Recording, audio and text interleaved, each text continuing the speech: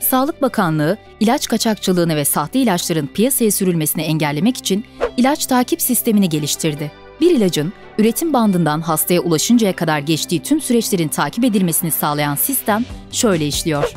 Üretim sürecinde her bir ilaca özel kare kod basılıyor. Üretilen veya ithal edilen ilaçların bilgileri sisteme kaydediliyor. Bundan sonra her ürünün tedarik zincirine girişinden başlayarak geçtiği tüm aşamalar alış-satış, sarf iade bilgileri sisteme kaydediliyor.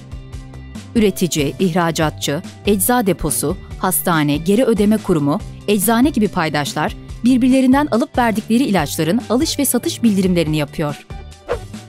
Hastane ve eczane hastalara verdiği ilaçları sisteme kaydediyor. Böylece hastanede bir hastaya tahsis edilmiş olan ilaç bir başka hasta için kullanılamıyor. İlaç takip sisteminden hasta da faydalanabiliyor. Uygulamadan ilacın kare kodunu okutup ilaç hakkındaki bilgilere de ulaşılabiliyor. Kullanılan ilaç için uygulama üzerinden yan etki bildirimi de yapılabiliyor.